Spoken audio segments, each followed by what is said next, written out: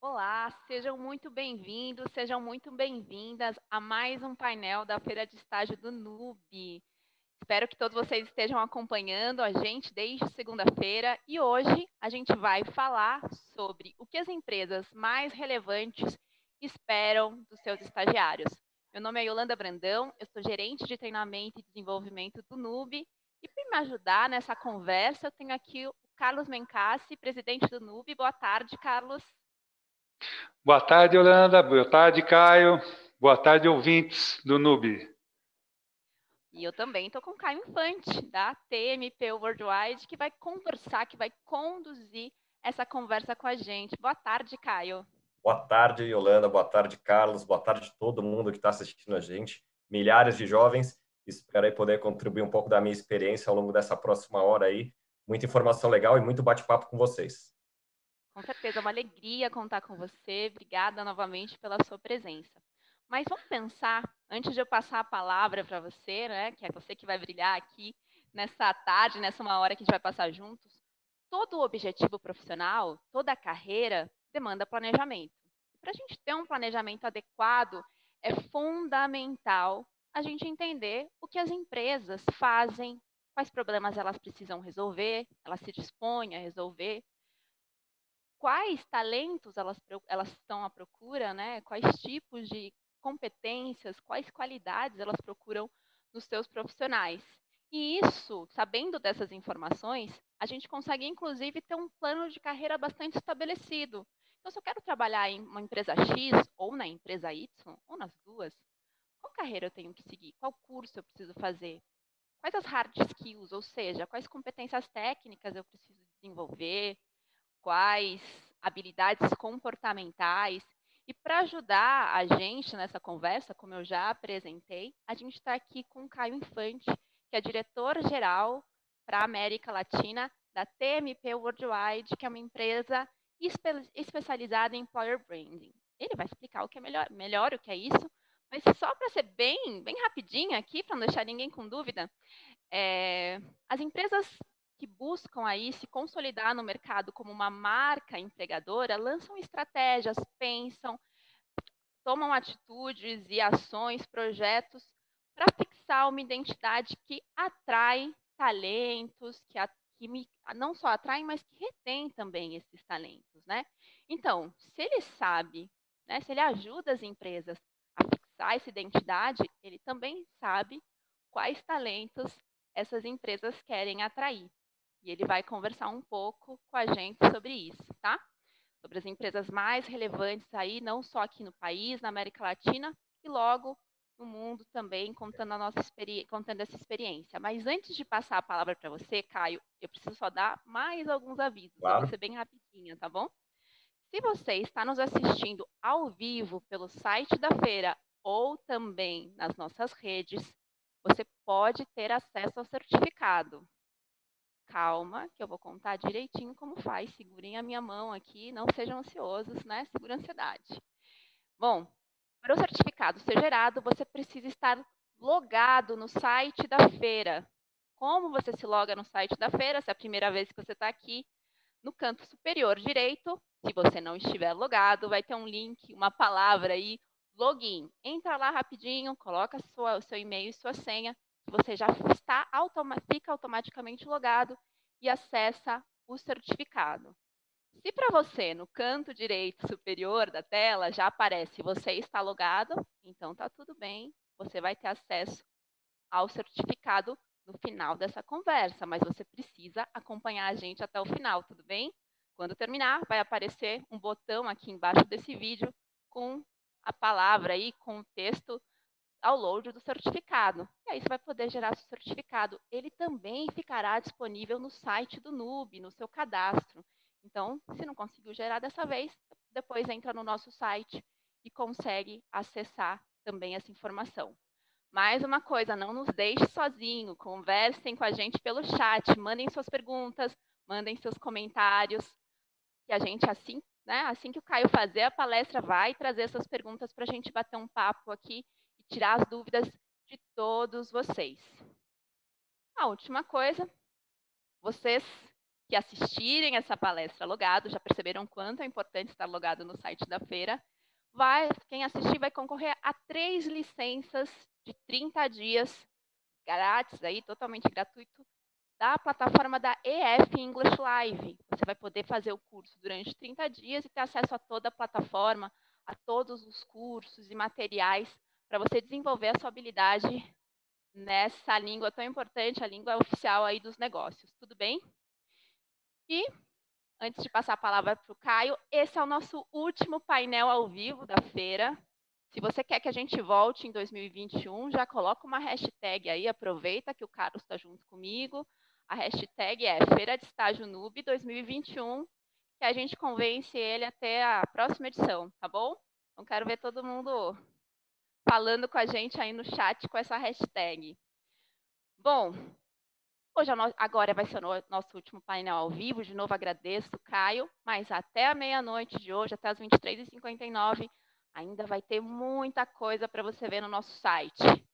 As palestras on demand, pílulas que são dicas rápidas de um minuto. E quem perdeu os outros painéis, os painéis que aconteceram hoje de manhã, terça e segunda, eles também estão gravados para vocês. Nós fomos bem legal. Quem assistir esses painéis até o final da feira também tem acesso ao certificado. Muitos recados. Imagino que deu para todo mundo entender. Qualquer coisa, falem com a gente no chat, que a gente está lá também para esclarecer qualquer dúvida. Acompanhem a gente, mandem perguntas para o chat, assistam até o final. Aí todo mundo tem acesso ao certificado e os sorteios a gente faz no fim da conversa também. Caio, com você, muito obrigada pela sua presença. A gente está ansioso para a sua palestra. Maravilha. Obrigado, recados dados. Eu guardei tudo aqui. Foram muitos? Acho que deu para entender, né? Foi tranquilo. Está muito coerente com um pouco do que eu vou falar aqui já já, que é que a gente tem que prestar atenção aqui. E olha, Mas... agora a responsabilidade, né, Caio? Porque Poxa a turma está esperando, porque tudo que ela falou, e eu tenho certeza, e te agradeço de ter vindo aqui dar esse apoio para os jovens do Brasil, e é uma honra ter você aqui fazendo o último evento do NUB. Obrigado e boa palestra. Muito obrigado.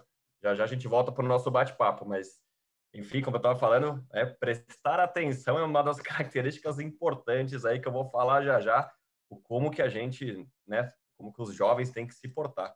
Deixa eu compartilhar minha tela aqui com vocês. Já está me vendo aí direitinho, certo? Então, vamos lá. Tá bom. Então, é, eu vou me apresentar, vou contar um pouco da minha carreira, porque vocês vão ver que faz muito sentido, provavelmente, com não só com o que eu vou falar, mas talvez até com a situação de muitos de vocês, né?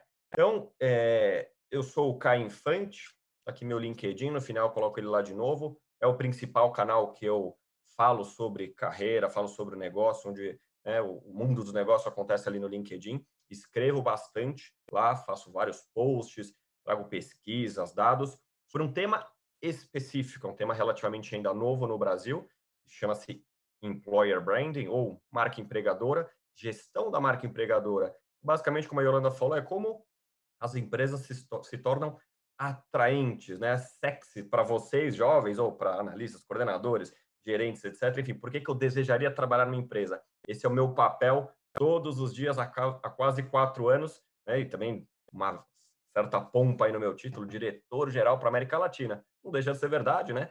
Mas é, importância, né? E a importância e a responsabilidade vem junto. Mas eu queria contar um pouco, esse aqui é o meu mini resumo, como a gente chama, mini bio, mas eu gosto de contar um pouco, principalmente quando eu falo com, com as pessoas, com os jovens, uma carreira é um negócio meio maluco na nossa vida, né? Quando eu tinha lá meus 17 para 18 anos, eu queria fazer direito.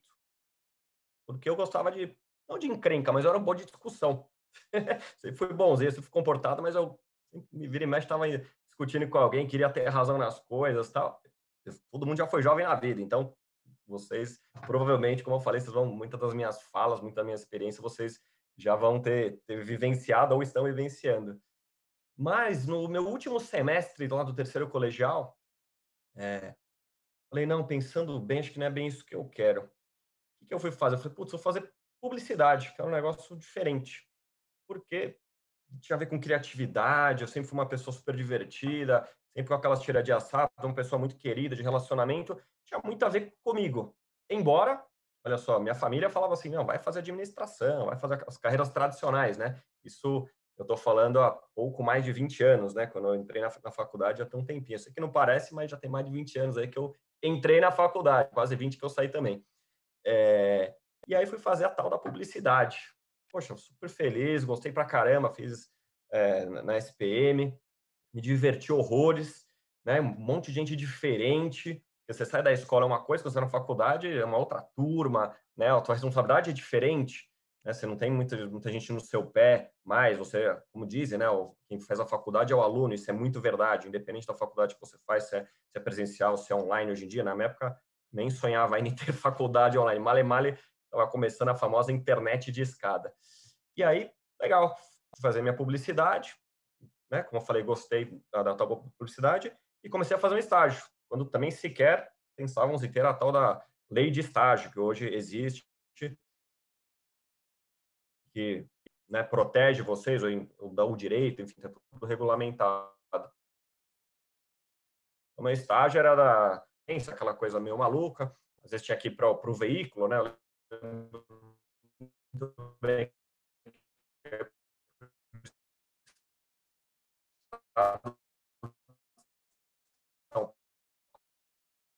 Paulo, tinha que levar meio que.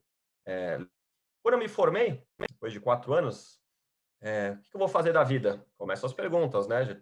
Já, já tinha sido efetivado à época na, na agência que eu trabalhava, era uma agência relativamente pequena. Gostava, mas eu falei, putz, acho que eu quero coisas diferentes. Putz, fui um negócio muito diferente. Né? Tive a oportunidade de viajar, fui para a Austrália. Quando na época ninguém falava de Austrália, estou falando isso no começo dos anos 2000. Né? Hoje a Austrália até que é um destino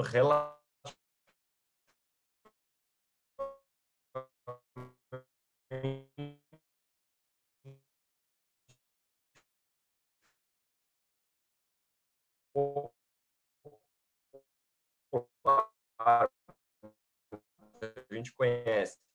Mas na época, para vocês terem ideia, a agência que eu fui foi o primeiro diferente lá. Então, é dizer que eu pareço o Messi, mais pela semelhança física do que pelo futebol, mas de qualquer jeito, como bom brasileiro, fui lá para a Austrália. Confesso que eu representei bem, o pessoal tem, tem saudades do meu bom futebol e também da minha juventude, jogava meu futebolzinho lá. Trabalhava no centro de futebol salão.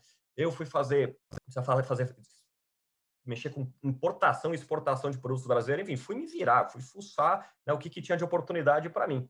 E, ao final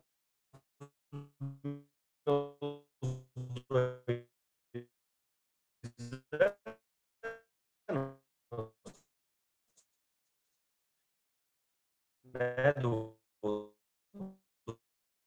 meu curso, eu tinha eu quero uma agência. Então, fui trabalhar numa agência australiana. Olha só que né, experiência diferente. Mas não foi uma experiência legal, confesso para vocês. Muito pelo contrário, não foi uma experiência nada positiva pensando na minha carreira, pensando nas experiências que eu tive e tal, tudo aquilo que eu gostava, puxa, não foi o que eu, não era o que eu queria.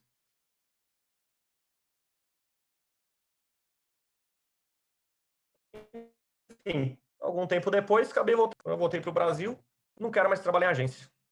Pô, cara, que rebeldia, você se formou, você gostava, trabalhou fora, baita currículo já, né, pra, apesar da pouca idade na época e tal. Pois é, não queria mais trabalhar em agência, eu não quero mais esse negócio para mim. Trabalhar num banco, olha só, de uma agência né, com toda a minha criatividade, apesar de trabalhar sempre na área de mais de negócios, relacionamento com cliente, prospecção, mas, enfim, fui trabalhar na área de banco e fui trabalhar com remessa de dinheiro.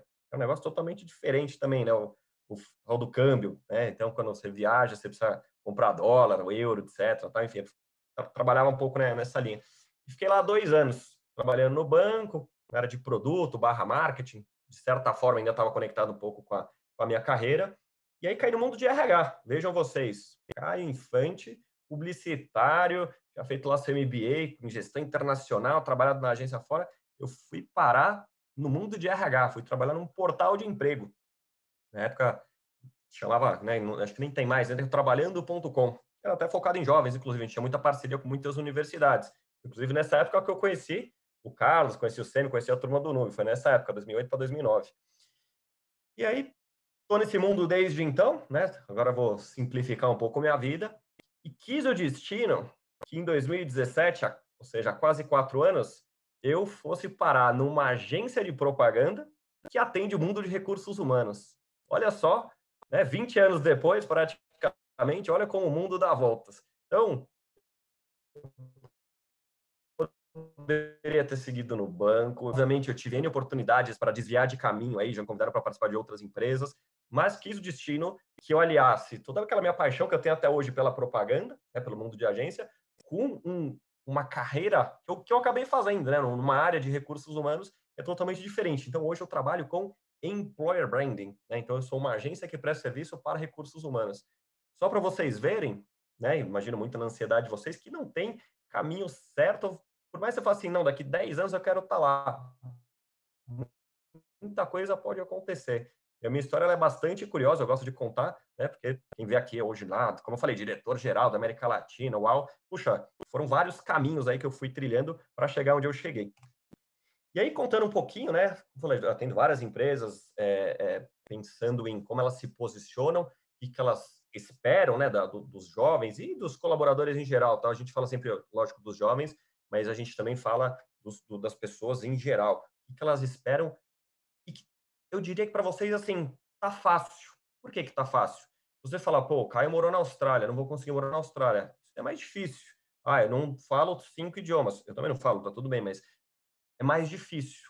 Óbvio que você pode trabalhar para isso, você pode criar oportunidades, ganhar bolsas, hoje pode estudar online, tem uma série de, de maneiras de você conseguir, mas é mais difícil do que as dicas e do que as características que eu vou trazer aqui, que no final do dia são muito mais importantes, né? Porque, por exemplo, o inglês, que é, um, é o idioma oficial do mundo dos negócios.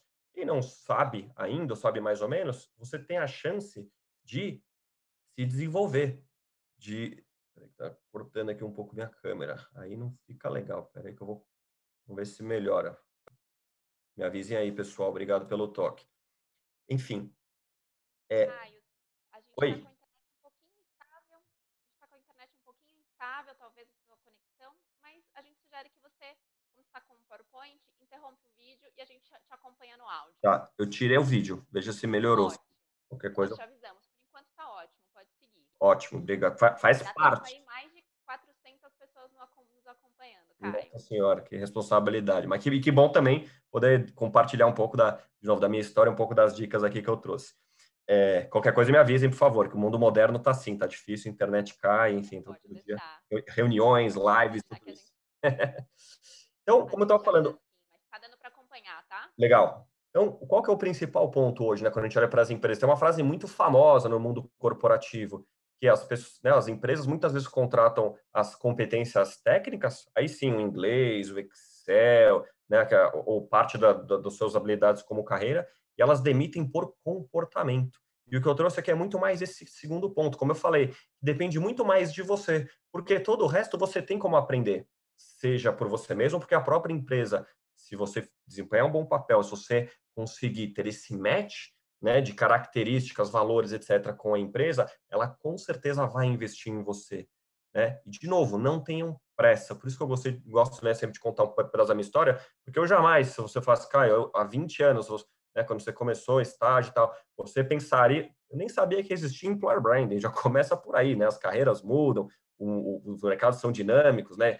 Startup não existia na minha época, startup é um negócio de 2012, 13, até pelo menos com o termo para cá, e assim por diante, né? Então, é, não tenham pressa, tá? Então, o que, que é importante, né? Quando a gente fala de versatilidade ou multifuncionalidade, não uma coisa importante, foco na carreira, foco no trabalho, foco nas atividades, por isso que eu até brinquei com a Yolanda no começo, né? Então, eu ia dar alguns, algumas dicas aqui nesse sentido. Isso é fundamental, né? Então, cada vez mais as empresas querem as pessoas multifuncionais. Por quê? As carreiras hoje também, você tem uma carreira muitas vezes lateral. Você não necessariamente precisa crescer, entre aspas, para cima. Você tem mobilidade interna. Você pode entrar no marketing para tecnologia e terminar no financeiro. Né? E você ter essa multi, ser multitarefa, ser versátil nesse sentido, é super importante. E as empresas cada vez mais querem esse tipo de profissional. Então, como eu falei, tudo que eu vou comentar aqui para vocês é muito mais como vocês conseguem se desenvolver do que depender dos outros. Sabe aquela história, ah, mas a empresa não faz para mim, ah, mas alguém que não fez. Não. Tudo que eu vou trazer aqui é para vocês. A nossa conversa, o papo reto aqui, é o Caio para quem para quem está me assistindo agora. E aí, como que eu consigo, né? Eu trouxe alguns pontos aqui, é, cada característica. Como é que eu conto essa história um pouco, eventualmente, na entrevista? Né? Como é que eu me, me desenvolvo no trabalho, né? Então, a questão da versatilidade, que é difícil, né? Para quem não tem experiência, para quem ainda vai pegar a primeira oportunidade, é você estar tá disposto, disposta, né? A aprender. Né? Eu quero saber o que está acontecendo. E até contar, né? Quando eu trago aqui tarefas que fez ou faz na faculdade, na escola, clube, comunidade, enfim, que você faz de diferente? Como que você, né? Quais são os seus interesses? Como que é o seu dia a dia? As pessoas querem, ah, de novo, as empresas entendem, né? Eu, Caio, com 40 anos nas costas, com uma carreira relativamente, né, enfim, já andada, com passagens em algumas empresas, o meu currículo ele tem um peso, ou as pessoas vão olhar para algumas coisas diferente de quem é jovem. Né? Então, eles querem saber, eles vão, vão querer se eu realmente tenho resultado comprovado, as pessoas vão querer saber várias outras coisas, mas tudo que eu vou mostrar aqui também, no bate-papo, até em testes, etc., é importante, que a gente chama do tal do fit cultural, né? Ou seja, para saber se o Caio, por mais legal que ele seja, por mais bacana que seja, se ele combina com a minha empresa, se ele combina com, meu, com a minha liderança, se ele combina com as pessoas que ele vai trabalhar. De novo, é muito mais do que isso, né? Quando a gente fala também de versatilidade, o que, que você pode falar no seu currículo, na sua entrevista, é quais são os cursos extracurriculares, exatamente para mostrar que o quê? Você não está parado, parado ou parado, acomodado ou acomodada no seu, no seu quadradinho. Né? Então, tem, como eu falei, tem como a gente se vender, tem como a gente mostrar essas características, né? De novo, entrevista, currículo, ou até no trabalho. Ou seja, como que eu faço isso no trabalho? É, isso eu particularmente sempre fui assim. Não é porque eu estava lá no, no, no, na minha área específica, que eu não ia me relacionar com outras áreas, que eu não ia perguntar, não queria aprender, não queria saber o que, que está acontecendo. Né? Isso é importante, é você abrir a mente para ver o que, que tem de... Porque muitas vezes, como eu falei, eu fui trabalhar num banco até para experimentar, para conhecer, ver o que acontecia. E aí fui parar no mundo de RH, não como RH, mas servindo o mundo de RH na área de negócios, né, para, o mundo de RH, e super me encontrei, deu super certo e tô nele acho muito pouco provável sair dele, porque você, lógico, você se apaixona, você aprende, você gosta. E eu, eu trabalhei em diferentes empresas com diferentes soluções para RH, até chegar, como eu falei, nesse encontro maravilhoso da agência dentro com o RH, né? Que hoje, com certeza, acho que eu não, não, não poderia estar no lugar mais feliz, né? Pensando em, em duas paixões aí que eu tenho na vida. Outra coisa super importante, né? Proatividade. Muitas vezes já ouviram falar né, sobre o termo, né? Que basicamente é você ter atitude, né? É você não só, ah, puxa, isso aqui seria legal, nossa, isso aqui poderia ser. Não, como é que eu faço realmente? Como que eu entrego valor? Como é que eu até entrego acima do esperado? E não é entregar só por, pelo fato de entregar, porque realmente você está interessado, porque você realmente pensou, você quer fazer, né? Então, o que você viu de diferente que você pode sugerir? O que, que você ouviu dizer? Porque pensa, quando você entra numa empresa, você tem cabeça diferente. Muitas vezes, tem muitos processos que estão ali, que estão lá há muito tempo, as pessoas estão acostumadas com aquilo, ninguém nunca eventualmente questionou, né? Então, você trazer esse tipo de questionamento, sugestão, recomendação, mesmo que o seu gestor ou gestora fale assim, puxa, Caio, não é o momento agora para isso, mas, poxa, legal, bacana você trazer esse tipo de ideia. As pessoas, as empresas, elas vão te incentivar, elas querem esse tipo de perfil as pessoas, de novo, não parada, eu brinco, tem um termo que eu uso, não, as pessoas até mais, mais velhas, que é fazer a tal da é, aposentadoria ativa, que é a pessoa chega às nove e vai embora às seis, né? independente se ela vai para o escritório atualmente ou não, se ela trabalha de casa. A gente não, não é isso que a gente quer, não é isso que a gente espera. E não é questão de trabalhar as horas das 9 às 18. Não estou falando trabalhar até as 10 da noite, não é isso. Mas enquanto eu trabalho, tem que ter produtividade, que é uma coisa, ou seja, entregar aquilo que me foi pedido, os resultados, vou falar disso já já, mas também ser proativo, falar, poxa, ninguém pensou nisso, olha só que ideia bacana que eu trouxe. E tem muita empresa assim, cuja liderança, e liderança estou falando do tal do C-Level, onde tem lá o dono, onde você tem o presidente, onde você tem os diretores que são acessíveis, que você pode fazer reunião, que você pode levar suas ideias.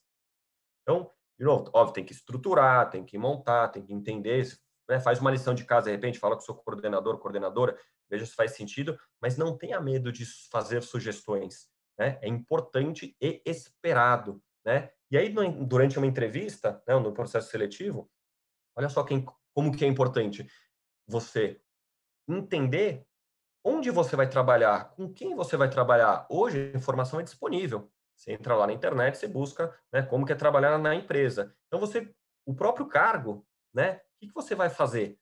O que é esperado de mim? Até para você poder fazer o quê depois? As perguntas certas, né? Então, isso é ter proatividade. Imagina você chegar lá, ah, ô, Caio, tudo bem? Estou aqui da empresa. Não, que empresa que você está me ligando mesmo? Nossa, mas me candidatei para essa vaga? Não, ao contrário, você tem que estar tá pronto, você tem que estar tá ali. Ah, lógico, essa empresa, sim, é aquela vaga tal e tal, né? Poxa, bacana, sim, não, claro que eu tenho interesse, e assim por diante. Então, desde o primeiro contato, o RH, o recrutador, a recrutadora, já começa a pegar esse tipo de, de novo, de é, é, ter essa sensibilidade de saber quão interessado você tem e se você tem mais ou menos proatividade. Né? Até se você não recebeu o feedback, você ligar para o legal, mandar uma mensagem, enfim, para o recrutador, não simplesmente cobrando uma posição, um feedback, mas falar assim, poxa, ô Caio, participei do processo aí com você, eu queria saber como é que ficou e tal, pô, gostei muito da empresa, como é que, né, quais são os próximos passos? Não, tem maneiras e maneiras de você demonstrar isso. Trabalhar em equipe, muita gente já ouviu falar disso, mas ainda hoje, muitas vezes é difícil você né? O que, que é mais importante? A sua carreira, né? A pessoa física, você aparecer, você se desenvolver, ou trabalhar o seu time, né? Junto com o time. Cada vez mais, o individualismo não vai te levar a lugar nenhum. As empresas, elas buscam colaboração. As metas são compartilhadas, os desafios, né? São dos times.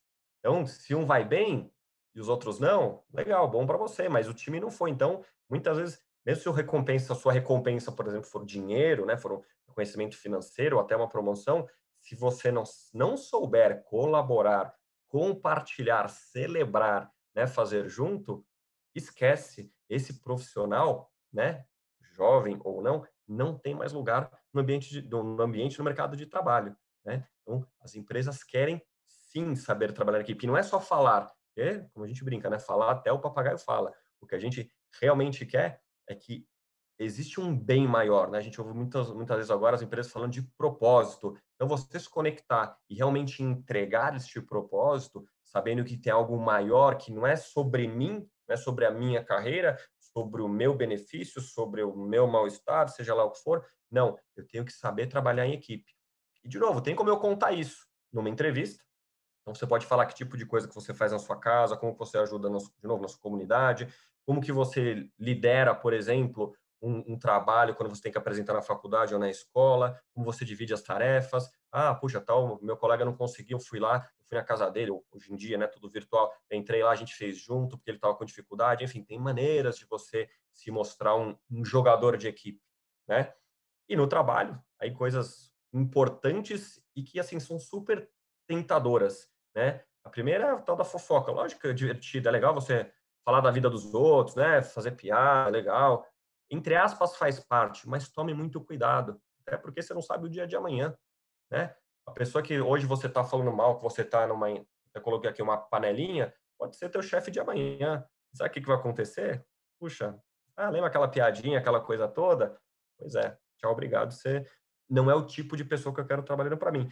Isso não é o tipo de atitude que a gente espera, né? Pensa se fosse o contrário, que a gente fala também, né? Coloque-se no lugar dos outros. Então, temos que pensar nisso também, tá? Então, trabalhar em equipe é fundamental. Pensa, qualquer esporte coletivo, obviamente, né? Não tênis e tal, ainda que tênis você tenha a dupla, eventualmente.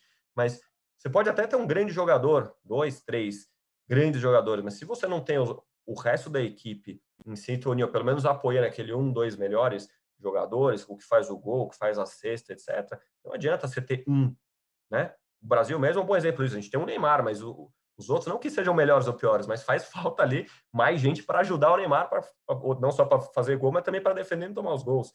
Então não adianta você ter o Neymar, que é um dos melhores jogadores do mundo, o próprio o Messi, meu, meu sósia, né? Ele é um dos maiores jogadores da atualidade. O que, que ele ganhou com a seleção? Não conseguiu. O Barcelona, onde ele tem um suporte diferente, onde trabalha em time diferente, ele ganhou muito mais coisas. Exemplos simples do nosso dia a dia, né? Quem gosta de futebol entende muito bem esse meu exemplo, né? Outra aqui importante, de novo, a responsabilidade está com cada um de vocês. Não estou falando nada, nada é da empresa. A empresa apenas espera isso de vocês, né? Comprometimento de novo, parece básico, parece simples, mas muita, muita gente não, não tem, e não tem mesmo, né? Que basicamente é o que vai gerar a tua relação de confiança com a empresa, com o seu gestor, com, o seu time, o time que você faz parte, né, para saber, posso contar com o Caio? Será que se eu der a tarefa ele vai entregar? Será que na hora que precisar ele realmente né, vai vestir a camisa, vai, vai dar aquela corridinha extra para nos ajudar, seja bater uma meta, seja para entregar alguma coisa para um cliente, seja lá o que for, né? Então, comprometimento é fundamental para a própria vida, tá? Isso não só para o ambiente de trabalho, eu, eu, digo isso, né? A gente tem que ter comprometimento com a nossa família, com os nossos amigos, né, com os nossos compromissos. Então, coisas, de novo, simples aqui, que faz diferença sim, porque hoje mesmo fala assim, ah, vou responder o teste, vou, quando der tempo eu vou responder. A empresa sabe, lembra que eu falei um pouco do, da proatividade, a questão do comprometimento? Comprometimento é isso também o próprio algoritmo, muitas vezes, né, ou seja, o sistema, ele, fala, ele sabe quem teve mais interesse, quem que já falou, poxa, estou mais interessado na vaga, né? Quem que realmente respondeu primeiro. É, pensa na, na, na, como recrutador ou recrutadora, vamos pensar como empresa. Recebe centenas, eventualmente milhares de currículos, né?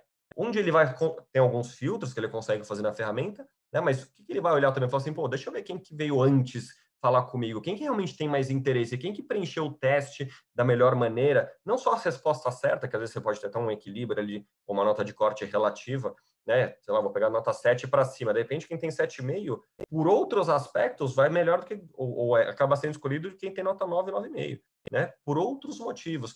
E o comprometimento a gente consegue olhar lá, ver o quanto que a pessoa realmente olhou, viu o e-mail, acessou na hora que ela recebeu, né? Quando você tem uma entrevista, isso é comum pessoal, eu falo isso sempre, até colocando a dor das empresas, né? Se você fala assim, vou na entrevista, pode ser online, pode ser presencial, vá, compareça na entrevista.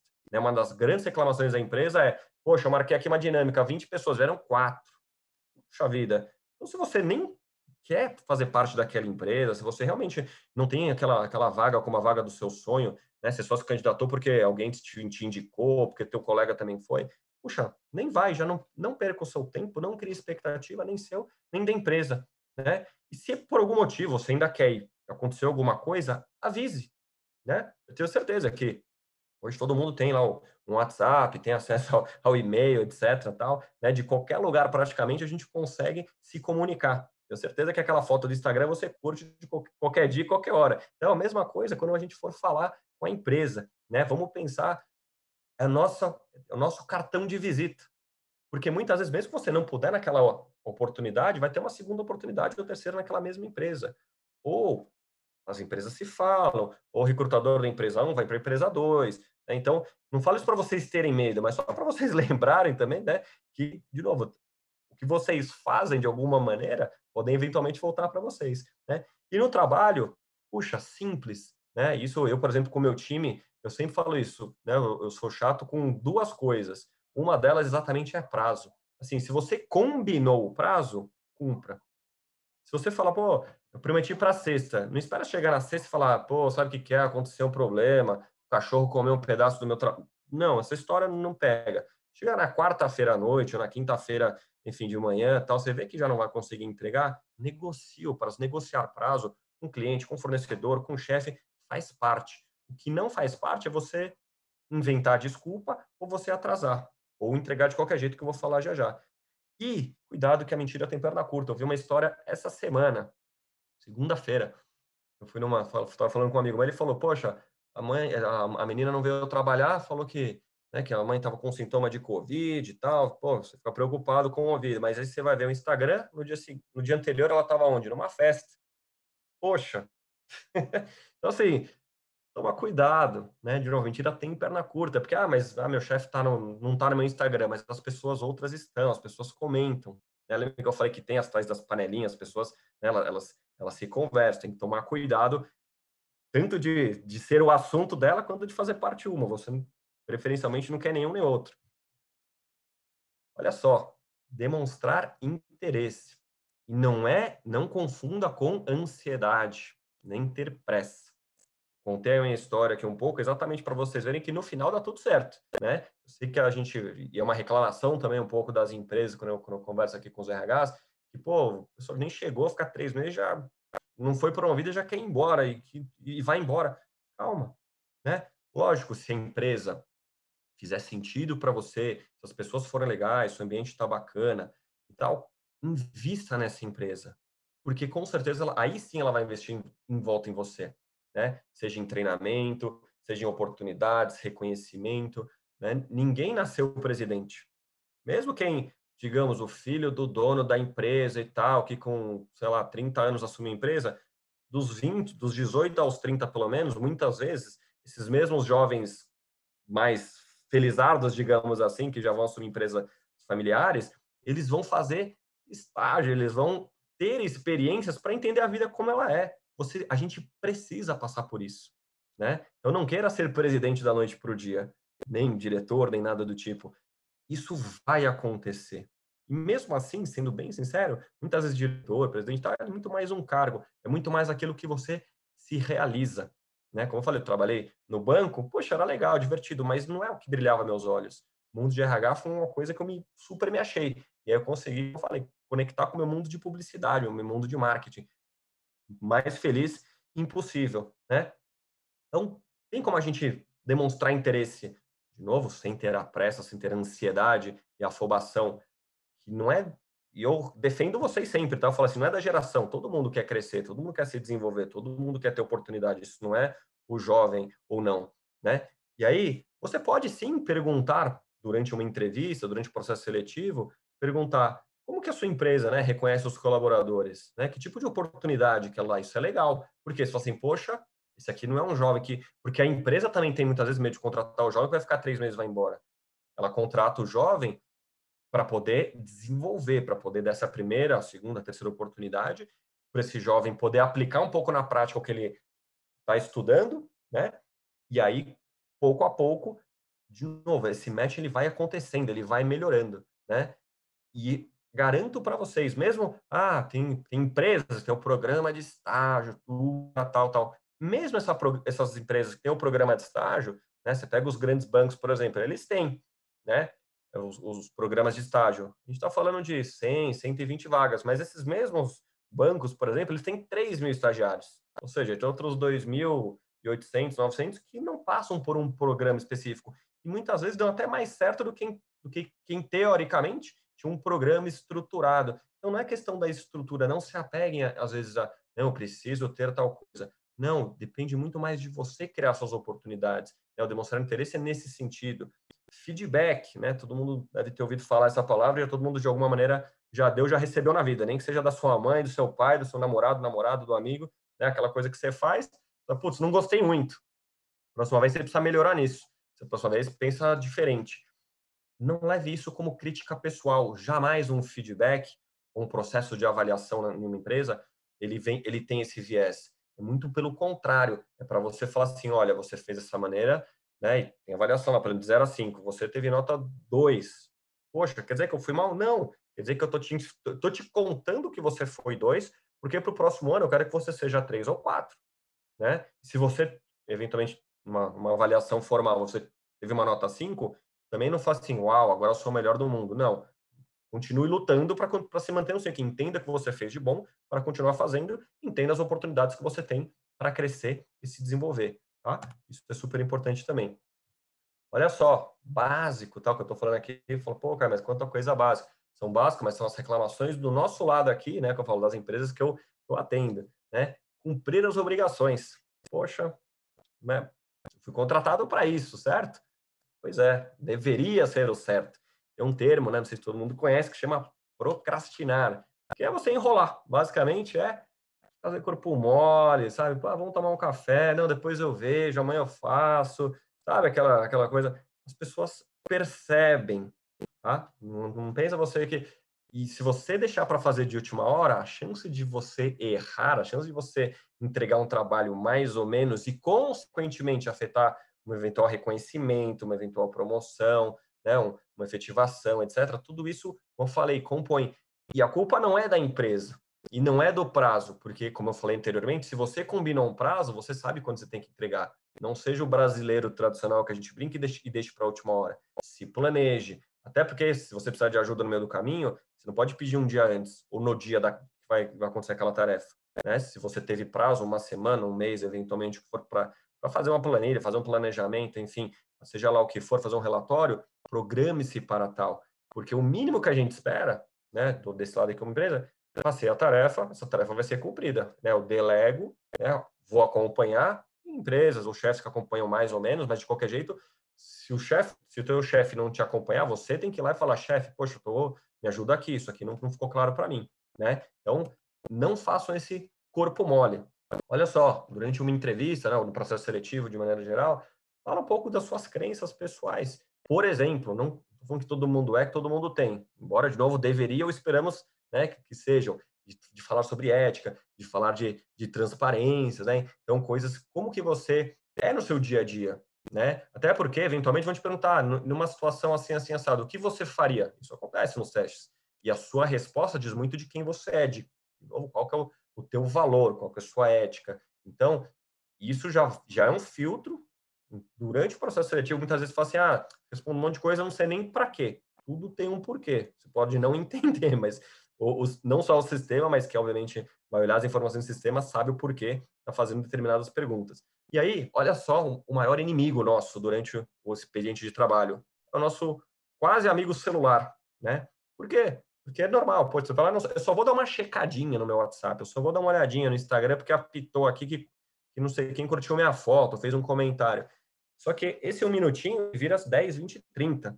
Mais do que isso, quando você está focado numa atividade, se você interrompe, isso é cientificamente comprovado. Se você interrompe o seu raciocínio, você tem que voltar duas, três casas para puxar onde eu estava mesmo né? Então, eu, Caio, pô, Caio, mas você não, não olha teu celular? Claro que eu olho, olho, olho muitas vezes, inclusive, até porque, obviamente, eu trabalho pelo celular, né? Tendo clientes, fornecedores, tal, tem tudo aqui. Mas quando eu preciso focar, eu desligo, meu celular eu coloco em outro lugar, eu coloco ele no modo avião para não tocar.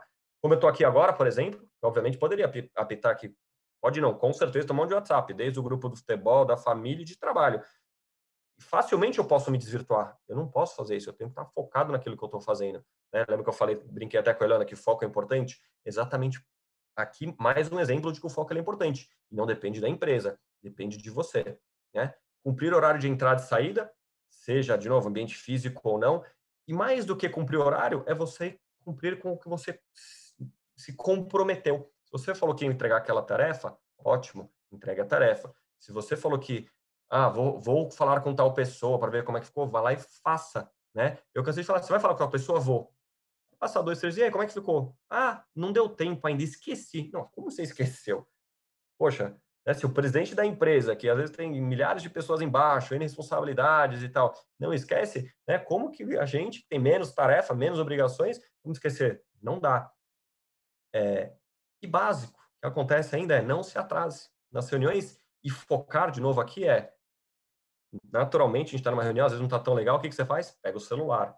Esquece o tal do celular. Ele é legal, ele é bacana, todo mundo gosta, todo mundo usa. Eu também, mas tem momentos e momentos. Eu não sou o, o pai chato, até porque nem dá tempo, meu filho tem 90 dias, não dá nem tempo de eu, de eu falar com ele de celular, nem sabendo o que é isso. Mas, ó, acho que assim, são momentos e momentos que a gente de fato pode se distrair e que a gente pode né, olhar para o celular. Então, vamos tomar cuidado quando e onde fazer isso ter uma postura, e a postura não é só a postura da coluna, né, mas uma postura de valores, né? Então, não é porque, eu acabei de falar, que o teu colega tá ali enrolando, procrastinando, que você vai fazer também, né? Ah, mas tá, ah, não pega nada, mas eu vejo lá o fulano, ele tá fazendo isso faz um mês e não aconteceu nada com ele. Como dizia sua mãe, você não é todo mundo, né? Você tem que saber o que é bom para você, para sua carreira, para o seu desenvolvimento, para o seu aprendizado. Aí, neste momento, sim, você tem que ser, entre aspas, individualista. Né? Tem que, obviamente, trabalhar em equipe, como eu comentei, não estou me contradizendo, mas a gente tem que seguir os bons exemplos. Eu quero saber quem que, é, quem que é a pessoa que foi promovida, quem que é o estagiário que hoje virou gerente. Eu quero seguir os passos dessa pessoa, não de quem está aqui enrolando, porque quem está enrolando mais dia menos dia vai acabar dançando, garanto para vocês. Tá? E aí, como é que a gente conta isso também, né, durante o processo seletivo e como é que, né, exemplos do trabalho, né? Então, passa confiança, né, para a recrutadora ou recrutador né? Na maneira que você olha no olho dela, né? Mesma coisa, você está numa entrevista que seja online hoje em dia, ela vai lá se você for pegar no celular de novo, se você se distraiu. Então, você já começa ali a sua linguagem corporal, já diz muito sobre a sua postura, quanto que você de fato está interessado, quanto que você integrar, é, desculpa, é entregar, né? Quando eu falei de quanto você é proativo, tudo aquilo que eu comentei um pouco, você consegue transparecer. Os recrutadores, as recrutadoras só de olhar, só no tom da sua voz, muitas vezes, você falar, oi, não entendi, Pô, mas como assim? Acabei de fazer uma pergunta simples e você não entendeu, né? Então, presta atenção e responda preferencialmente aquilo que foi perguntado. Não tente enrolar, né? Porque se você é do tipo de pessoa que enrola, que vai querer, puxa, talvez não é a pessoa que eu quero trabalhando para mim, enrolando os meus clientes, os meus fornecedores, os meus demais colaboradores, né?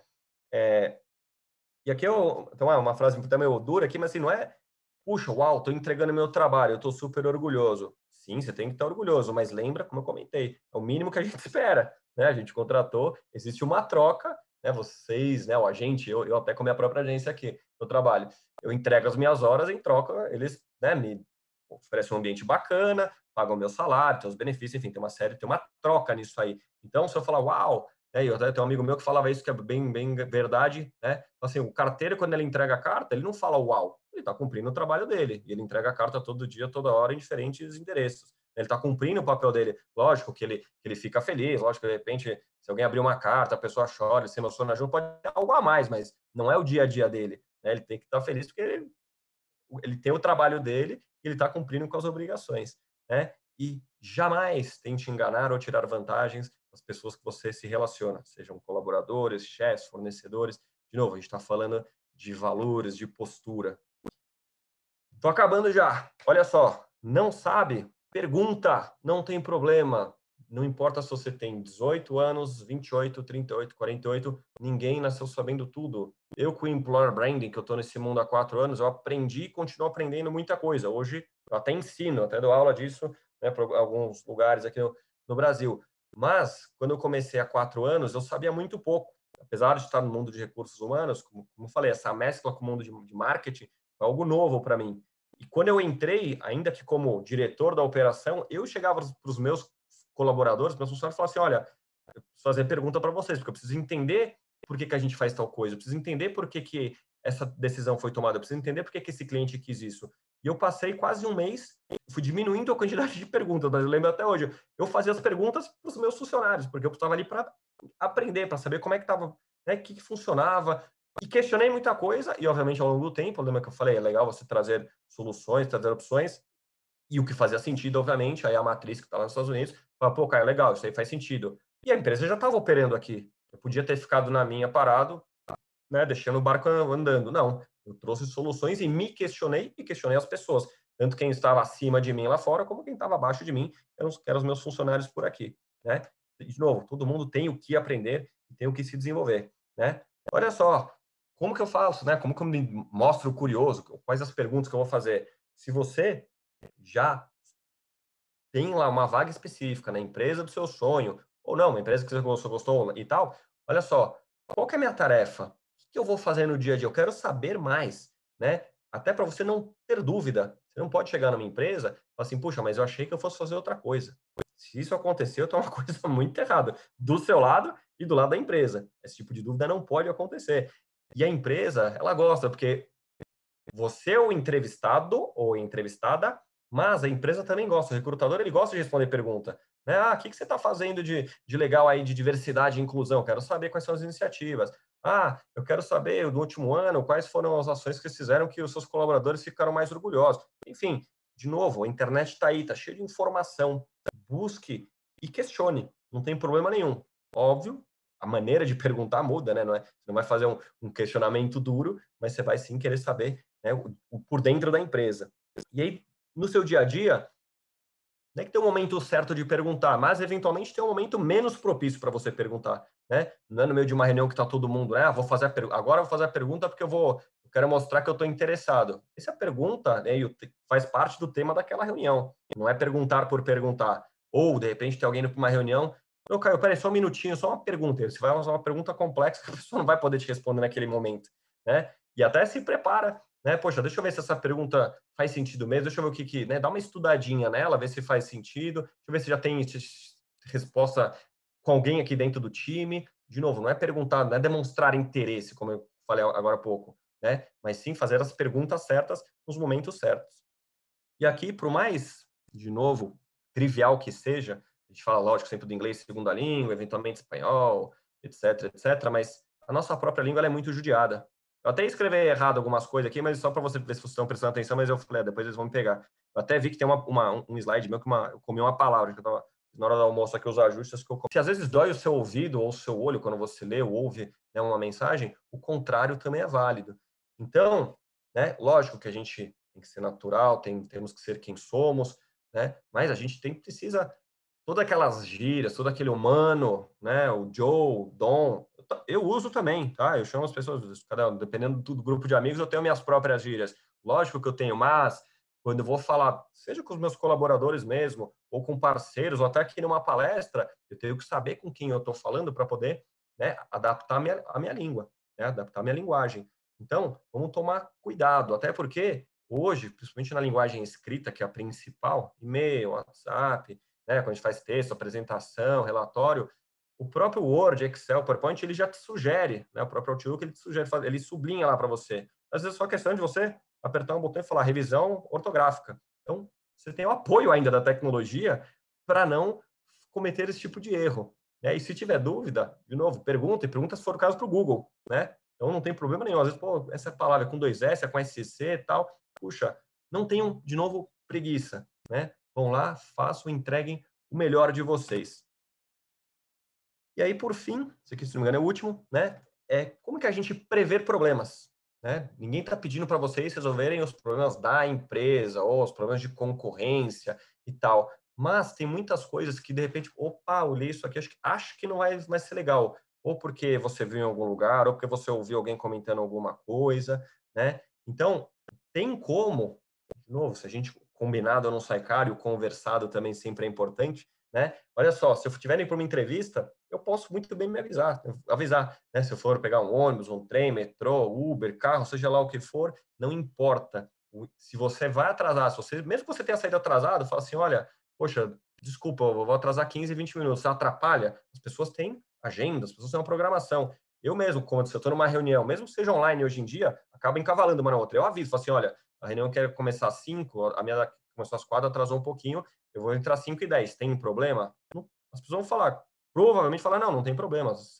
Ou, puxa, tem, mas eu não vou poder falar meia hora que a gente ia falar, vou falar só 20 minutos, tudo bem? Então, de novo, combinado não sai caro, né? Coisas, às vezes, simples. A gente não está falando de coisas, de novo, complexas, a gente está falando de, né, de, projetos, ultra, tal. A gente está falando de, de muitas coisas e volta aqui na tarefa do dia a dia. Se você percebeu que tem alguma coisa que não ficou clara, volta lá e pergunta, né? tem algumas lições de casa que eu já passei para vocês. Poxa, para quem que eu vou perguntar? Pode ser para alguém do meu time, espírito colaborativo, pode ser para o meu próprio chefe que de repente ele passou e não me explicou direito ou não ficou claro e não tem problema. Melhor perguntar duas, três vezes, né? E identificar o que, que vai acontecer do que esperar a bomba explodir. Porque daí, de novo, a gente está falando da, da sua atitude, da sua proatividade, da sua entrega. Ufa, não, tinha mais um, perdão, estou aqui já, estou vendo meu horário aqui. Criar conexões positivas. Puxa, isso é importante para a vida. Falo para vocês. O Carlos está aqui, daqui a pouco vai entrar na tela comigo de novo, é um exemplo disso, junto com o Semi. Né? Como eu falei, eu os conheci em 2008 para 2009, quando entrei no mundo de RH, por uma circunstância de negócio.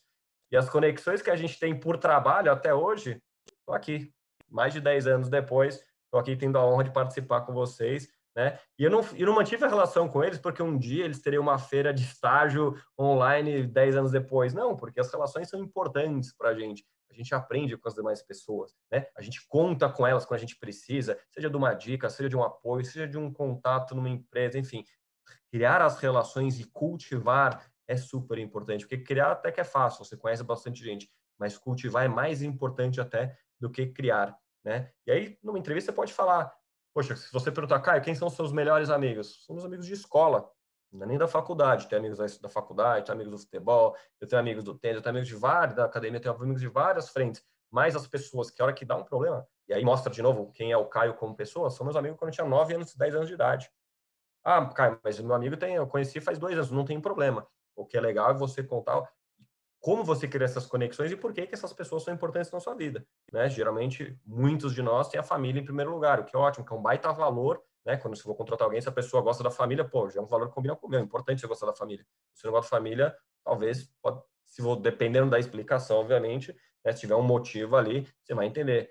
Tem um problema de família, mas em geral a gente quer relações, de novo, legais, positivas, duradouras. Lembrando aqui de novo, né, que colaboração vai ser sempre maior do que competição. Mesmo que você seja da área comercial, que você precisa vender mais, que você precisa entregar resultado tal, não importa. No final do dia, todas as empresas vão buscar um ambiente colaborativo cada vez mais, né, como a questão da diversidade e inclusão, como sustentabilidade, com vários outros pontos que há dois, três, cinco anos ninguém falava sobre. Ufa! Então aqui é um resumão do que eu falei para quem estiver vendo a gente, tirar print, enfim, não sei se vai ficar disponível. Quem quiser depois, como eu falei, estão aqui os meus contatos, me adicionem no LinkedIn, conversem comigo, peçam é, dicas, tirem dúvidas, eu estou super à disposição. Um prazer poder ter falado aqui para vocês um tempão. Estou aqui de volta com o Carlos e com a Yolanda. Que alegria, Caio. Que privilégio que a gente teve de te ouvir e ouvir a pessoa aí que está né, pensando em estratégias, ajudando as empresas a ter uma marca forte e recrutar e atrair os melhores talentos. Então, você trouxe desse privilégio de ouvir você falando também, também. Do outro lado, é muito bacana. A gente teve muitas perguntas, a gente vai ter pouquinho tempo para conversar, mas todas as perguntas que apareceu aqui, você foi tratando ao longo da palestra. Foi muito bom. Muito obrigada mesmo. Mas eu, mas, olha, eu, já, de, eu já quero deixar antes o agradecimento pela mais de 500 pessoas que estão assistindo você, Caio, por todas essas dicas maravilhosas tanto no processo seletivo, como também depois ao longo do estágio, da carreira, ao longo da vida. Né? Você cobriu tudo. Muitos meus parabéns, realmente. Muito obrigado por ter ajudado toda a juventude do Brasil aí com essas dicas maravilhosas. Espero que tenha feito sentido mesmo. Né? Eu imaginei que algumas das perguntas eu ia responder porque são comuns, né? são dúvidas comuns, então eu tentei trazer e eu me coloco muito como exemplo, né? Porque, de novo, eu já fui jovem, ainda de certa forma, tenho meu espírito jovem, pelo menos, a idade é só um número, e convivo com jovens, né? Seja no meu ambiente de trabalho ou nas empresas que eu atendo. Então, de novo, a responsabilidade é de cada um de nós, né? A gente terceirizar para a empresa também não cola, não.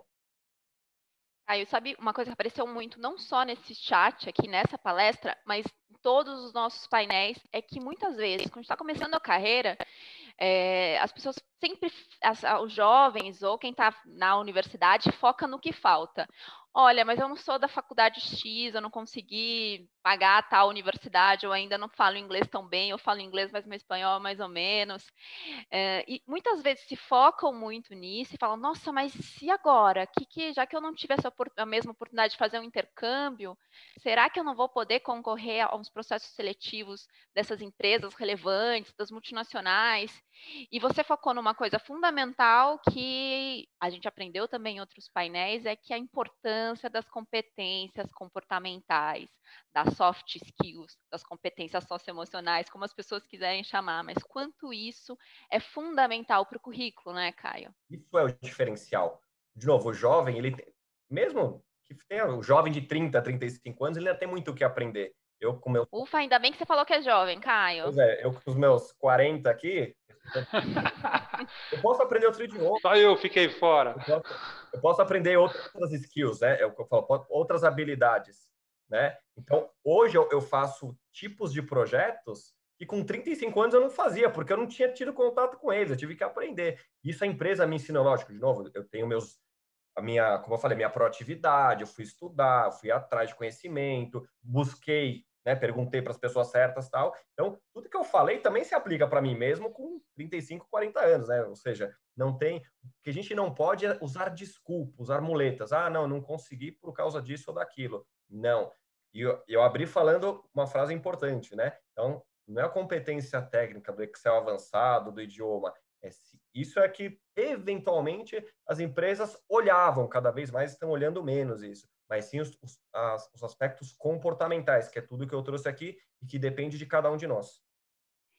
Evidentemente que uma boa formação, que um aluno dedicado que entende quais competências técnicas lhe faltam e busca aprender ao longo da vida é fundamental, mas sem né, sem estar aliado com essas competências, acho que, que não é suficiente. Pode até te aprovar num processo seletivo, mas dificilmente vai te fazer ter boas conexões, como você disse, Sim. se manter na, na, na, empresa, enfim. E crescer. Caio, todo mundo está muito impressionado com a sua trajetória de carreira, porque muitas vezes, quando a gente escolhe uma universidade, quando a gente escolhe um curso, a gente pensa que a gente está numa caixinha. Então, eu escolhi publicidade e propaganda, eu vou mais ou menos seguir naquela área, todo mundo gostou muito dessa você não migrou de carreira? Eu acho que o seu background, né, a, sua, a base da sua formação continua sendo publicidade e propaganda, mas você precisou aprender muitas coisas que não eram da sua área. E aí tem perguntas aqui, como da Camila Camargo, por exemplo, dizendo que, nossa, eu, por exemplo, tenho duas formações. Eu sou formada em biologia e agora estudo marketing. Isso é prejudicial ao meu currículo? Isso me ajuda? E eu acho que essas perguntas vêm acompanhado do que você contou sobre a sua trajetória. Zero, de novo, a gente tem que fazer aquilo que a gente gosta. Parece papo de velho, e o Carlos vai me entender bem, porque a gente está aí nos 40 a mais. Tipo, ah, não, você tem que fazer o que você gosta. O sucesso, e de novo, a nossa carreira vem com o tempo.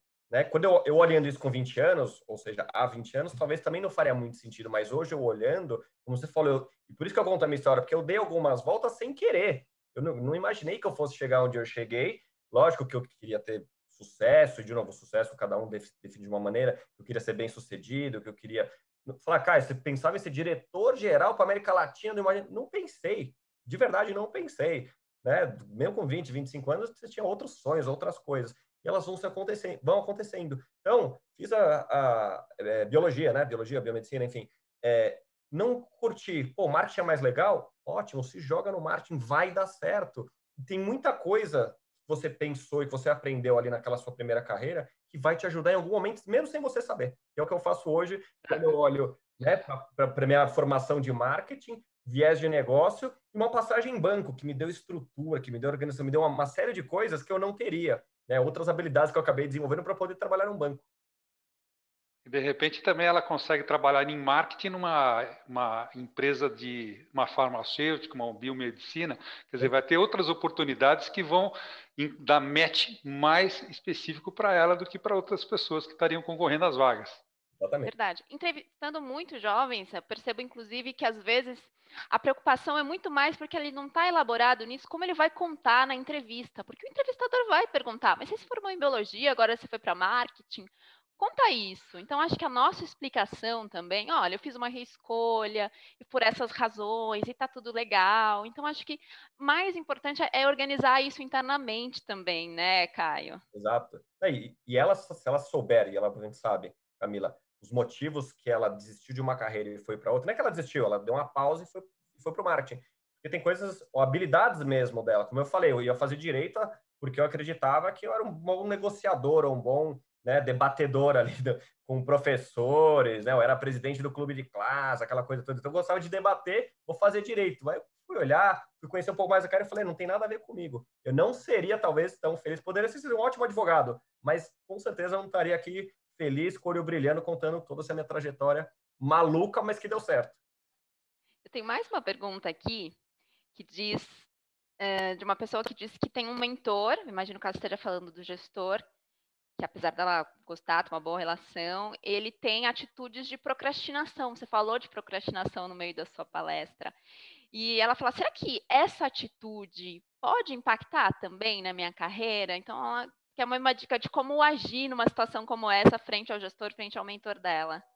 Então, lembra que nem tudo que a gente vê a gente tem que copiar, né? Ou tomar como exemplo. Então, se ela já identificou, seja na minha fala, ou até obviamente ao longo aí desse contato com o mentor barra gestor, né? Então, você não vai falar isso para ele ou ela diretamente, mas você, se você já entende, as pessoas percebem. De novo, o ambiente de trabalho não tem gente boba, né? A gente fala de colaboração, a gente fala que é importante, mas tá todo mundo olhando. E não tá olhando o horário que você entra e que você sai. Tá olhando a sua entrega, tá olhando o teu resultado, tá olhando as suas atitudes, tá olhando a sua proatividade, tá olhando a sua criatividade, tá olhando muito do que eu trouxe aqui. Então, essa pessoa, infelizmente, mais dia menos dia, ela pode até ficar lá, mas ela vai ficar lá, não vai nem crescer nem para o lado, nem para cima, ela vai ficar naquela posição para sempre. É isso que você quer para você? Provavelmente não. Você quer crescer, você quer desenvolver, você quer ser admirado, ou seja, uma admiração que poderia ser 100%, talvez seja 60%, porque exatamente a, a, a, Camila já entendeu que, puxa, isso aqui não é tão legal, não é uma característica que eu gostaria para mim, ou no meu time, ou nos meus pares. E tem uma pergunta é, aqui vai dizendo que às vezes no estágio a gente está numa área, mas daí a área do vizinho, a área a gente se interessou, gostou. Como que você pode conhecer mais dessa área, de repente participar de um projeto sem se prejudicar com o gestor atual na área que a pessoa foi contratada? Acho que assim, existe um entendimento das empresas, principalmente do, do jovem estagiário, né? Ele está lá para experimentar de certa forma. Lógico, né? Que eu vou ficar um mês não gostei, né? Que eu brinco, você vai no supermercado, você compra um pacote de bolacha, você come um devolve o pacote inteiro. Não, mundo usa bastante, não quis trazer que é a tal da resiliência, que é você né, ficar um pouco mais, você investir tempo para ver se é isso mesmo. Como eu falei, participa de, dependendo da empresa, tem possibilidade de fazer projetos que são né, é, com, com, diferentes áreas. Quando você for, de repente, almoçar com a pessoa, oh, me conta mais como que é a tua área, conhecer um pouco, porque às vezes de fora, né, como a gente fala, por fora é bela viola, por dentro é pão bolorento, é um ditado antigo. Da sua mas é isso, parece que tá Exato, parece que é tudo legal e incrível, mas na prática não é bem isso. E às vezes a tua área, é aquela história, a grama do, do vizinho está mais verdinha, mas na prática não é bem isso. Então, vai entender um pouco mais. Isso é muito comum, por exemplo, na carreira de direito, porque você não. E, e é comum, e não se sintam mal por isso. Você tem quatro, cinco, sete, dez ramificações ali sub-áreas do direito. Qual que é? Ah, é, é qual que você vai trabalhar? É civil, é família, tal, é ambiental? Puxa, tem um monte. E tudo bem, de novo, acho que tudo bem, e você tem que ser sempre transparente. De novo, não tente enrolar, não tente né, contar histórias, inventar desculpa, tal. Não, fala assim, puxa, tô feliz aqui, legal, mas olha, eu tô vendo que aquela área tem um negócio mais legal. Poxa, eu queria. Legal. Desde semana lá, tem o que a gente chama de job rotation. De novo, tem muitas empresas que têm esse modelo, uhum. permite isso. Se você for uma pessoa com as características que a gente comentou agora, não que você tenha tudo, mas você tenha várias delas e combine com a empresa, a empresa não vai querer te perder. Ela vai te dar oportunidade Sim, naquela área fazer um rodízio nas áreas, né? Exato. Caio, eu podia ficar aqui conversando com você para você contar aí os bastidores do employer branding no final, o resto da tarde, mas a gente vai ter que partir já para o final da nossa conversa, para os agradecimentos, mas antes eu queria falar que a gente já tem o nome dos sorteados para 30 dias de licença grátis na EF English. Vou falar aqui e depois a nossa produção vai entrar em contato com vocês, tá bom? Fiquem atentos aí ao celular, enfim. Então, Samires Leite Monteiro de Oliveira, final do telefone 7038. Thalita Andrade Barros de Sá, telefone final, os quatro últimos dígitos, 1775. E Jonathan Moraes Lozano Benazzi, 3044. Mais um recadinho para quem está aqui acompanhando a gente, assim que terminar essa palestra, o certificado vai estar disponível para vocês, vai aparecer um botão de download do certificado. Fiquem tranquilos, às vezes demora uns segundinhos para aparecer. Aí você pode ter acesso ao seu certificado. E como eu disse, Caio e Carlos, a gente está chegando no final. Esse é o último painel ao vivo da Feira de Estágio, da edição de 2020, mas a gente ainda tem muito conteúdo para todos os estudantes do Brasil acompanharem. Nós gravamos os painéis que foram realizados nos dias anteriores e mais cedo. A gente também tem muita palestra on demand para vocês acompanharem. São palestras de 15, 20 minutos com conteúdo muito rico. Além de mais de 100 estandes de empresas parceiras que estão oferecendo vaga e disponibilizando o seu banco de talentos. Então, aproveitem até 11h59, até meia-noite, dá para acompanhar tudo que está lá né? Sem, Fala, sem enrolar, sem procrastinar. Vamos aproveitar. Sem procrastinação, até porque agora, ó, tá chegando. Vamos cumprir os prazos. Fazer uma maratona de cursos, de é palestras, de painéis. E eu quero aproveitar para agradecer a essas dezenas de milhares de jovens que se inscreveram na nossa feira, que participaram, nos honraram nesses eventos, nessas palestras, nesses painéis. Quero agradecer não só é, todos os palestrantes que estiveram junto conosco, mas também a maravilhosa equipe do NUB, né? essa super equipe que não procrastina, que está sempre proativa, que está sempre pronta para entregar. São pessoas de muita competência técnica, skills comportamentais, quer dizer, isso aí, tudo que o Caio falou, essa grande equipe NUB, essa, ela tem e entrega, né? Agradecer também todas essas parcerias das escolas, das instituições de ensino que nos apoiaram, nos divulgaram, fizeram fazer com que essa feira tivesse de fato um sucesso. E, fundamentalmente, agradecer os nossos clientes, né, que abriram os seus programas de estágios. Às vezes as vagas não estão abertas agora, vão estar abertas mês que vem ou em janeiro, mas enfim, são mais de 100 empresas que abriram, mostraram os seus vídeos, suas fotos, as suas vagas, o seu site, como se inscrever, o que, que elas têm de Empower Branding né, para atrair esses talentos, né, Caio?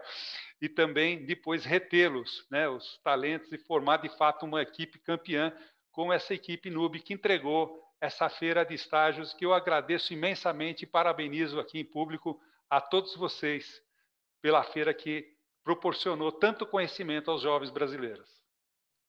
Isso mesmo, a gente acabou de ouvir o Caio Mencas, presidente do NUB. É, é uma alegria ter contado com todos vocês, contado com todos os painelistas. É, a nossa missão, né, Carlos, é ser parceiro do jovem, é ser parceiro do estudante para se inserir profissionalmente. A gente sabe a, que 2020 foi um ano muito difícil para todos nós, mas a nossa missão, nossa função é seguir em frente e construir nosso lugar no futuro. Então, Caio, muito obrigada. Foi um prazer contar com você. Eu, eu que agradeço, parabéns, né? Faço as palavras do Carlos, as minhas, todo o apoio que eu tive, todo o suporte de todo o time de vocês foi incrível muito, uma alegria muito grande de poder contribuir para, de novo, dezenas de milhares de jovens que viram a gente ao vivo, vão ver depois.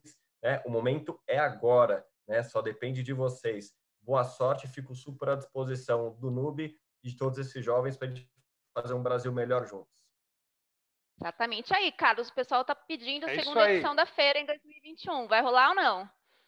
Olha, eu acho que tem que rolar, né? Tem que rolar não só a, segunda edição e talvez a terceira, talvez fazer uma em março, talvez fazer outra. Não sei. Eu acho que dá para fazer até duas. E, mas aí depende de vocês, né? Vocês que vão ter que entregar. então não é só. Eu também vou ter que trabalhar bastante, todos nós. Mas enfim. E eu acho que assim, voltando a falar um pouquinho antes, né? E aí já estourando o tempo, mas enfim, é, nós do Brasil, nós temos que mudar o país, essa desigualdade social, através do conhecimento, da educação. E essa pandemia, de tanta coisa ruim que ela trouxe, ela também trouxe alguma coisa boa, que é essa parte virtual, de poder fazer uma feira, assim, através de mais de 20 mega salas, com mais de mil pessoas, enfim, tudo isso trazendo conhecimento de todo o Brasil para todo o Brasil. Então, isso é um custo muito baixo. Quer dizer, quanto que a gente pôde, através do método digital, entregar conhecimento para tanta gente. Então, isso é uma possibilidade enorme do Brasil reinventar a sua educação, fazendo com que cada vez mais entregamos mais qualidade por um custo menor e para mais pessoas. E aí sim, a gente conseguir fazer com que o país tenha pessoas muito mais educadas, com mais conhecimento e com isso tenham muito melhor inserção no mercado de trabalho não só a inserção, mas também, ao longo da vida delas, ganharem mais, ter um, um crescimento de fato da sua renda familiar. E aí isso muda o país, isso muda o país. E relativamente simples, quer dizer, é uma coisa que está aí, a, a, tecnologia está aí a favor, o momento é positivo para o país fazer essa revolução educacional para você fazer a redução de desigualdade social e todos os problemas brasileiros que conhecemos. Então, Fico muito feliz de fazer parte desse momento, fazer parte de uma empresa que busca essa inserção no mercado de trabalho, que ao longo desses 22 anos inserimos mais de um milhão de jovens no mercado de trabalho, e aí vamos inserir mais alguns milhões. É isso aí. e vamos é fazer é mais feira assim. Né? Bom, é com as palavras do nosso presidente, eu me despeço de vocês. Boa sorte. Contem com o NUB. Construir um lugar no futuro é responsabilidade de todos nós, do NUB, dos estudantes, das universidades. A educação e o trabalho mudam o mundo. Né? Então, nos vemos em 2021, então, Carlos. Sem dúvida. Promessa aqui. Um beijo a todos. Continuem navegando no nosso site. Até meia-noite tem muito conteúdo para vocês. Agora é hora de maratonar aí todo o conteúdo on demand. Tchau, Carlos. Tchau, Caio. Obrigado. Tchau, Yolanda. Tchau, Caio. Tchau, todo mundo. Tchau. É, obrigado por terem vindo.